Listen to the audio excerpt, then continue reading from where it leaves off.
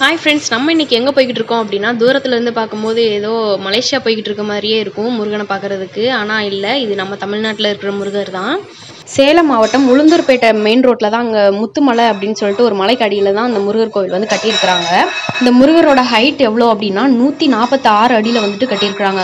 மலேசியாவில் இருக்கிற முருகர் கூட நூற்றி நாற்பது அடியில் தான் கட்டியிருக்கிறாங்க. இது அதை கூடயும் ஆறு அடி வந்து கூட தான் கட்டியிருக்கிறாங்க. அப்புறம் மலேசியாவில் இருக்கிற முருகர் சிலையை கட்டின அதே மனுஷன் தாங்க இங்கேயும் வந்துட்டு இந்த முருகர் சிலையுமே வந்து கட்டியிருக்கிறாங்க.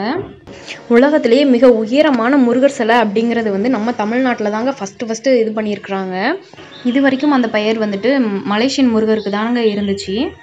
மலேசியன் முருகருக்கும் தமிழ்நாட்டு முருகருக்கும் மூணு டிஃப்ரென்ஸ் வச்சுட்டு இந்த முருகர் சிலை வந்து கட்டியிருக்கிறாங்க.